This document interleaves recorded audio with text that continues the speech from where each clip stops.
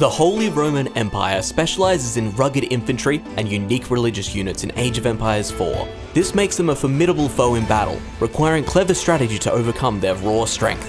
The Holy Roman Empire are quickly able to fortify a position and utilize the Prelate, a religious unit available from the Dark Age, to build up a focused economy.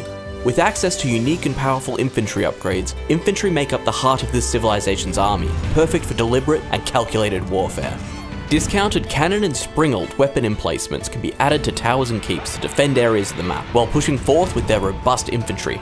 Utilised properly, these bonuses make the Holy Roman Empire one of the most resourceful and sturdy civilizations in Age of Empires 4. Their economy can dominate the early game, thanks to the Prelate and their ability to boost villager efficiency significantly and increase gather rates. This opens the door to specialised strategies early in a match, Additionally, prelates can garrison relics into defensive buildings to increase their strength further. When upgraded, prelates can inspire military units, boosting their combat capabilities to dominate the battlefield, turning the tide of what could have been a losing battle. One of these military units is the Landsknecht, a unit unique to the Holy Roman Empire. They are a fearsome infantry, capable of dealing area of effect damage to enemies engaged in battle nearby. Besieging fortifications and cities won't come easy to an unprepared opponent, the Holy Roman Empire have the unique bonus to repair buildings over time, if they are within the town centre's area of influence. This bonus does have a cooldown, but with strategic use can easily change the outcome of battle.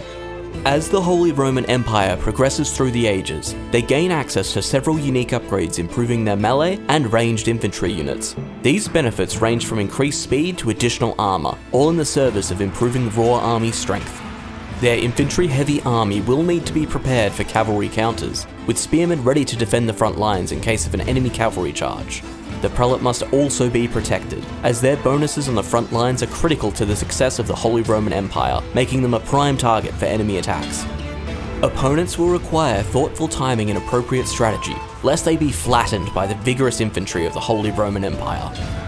The Holy Roman Empire is a challenging foe, especially when fighting on their chosen field of battle. Players who enjoy building up impenetrable cities and methodically defeating their opponents will enjoy taking full advantage of all this civilization has to offer.